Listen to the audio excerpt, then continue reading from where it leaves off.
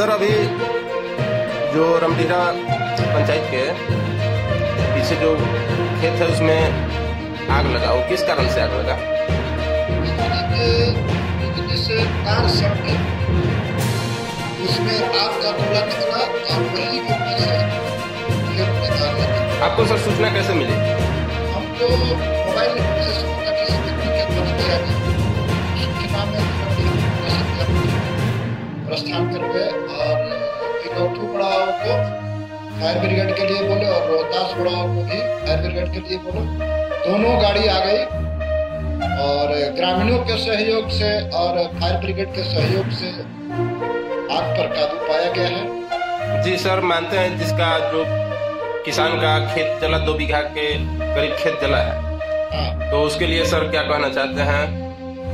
उसके लिए मेरे यहाँ एक हम बता दिए हैं कि आप मेरे यहाँ आइए, एक भी किताबें कर दीजिए और हम इसका सन्हा दर्ज करके और अंचल अधिकारी को भेज देंगे या आप अपने ले जाकर करके दीजिएगा सरकार के द्वारा जो भी मुआवजा की राशि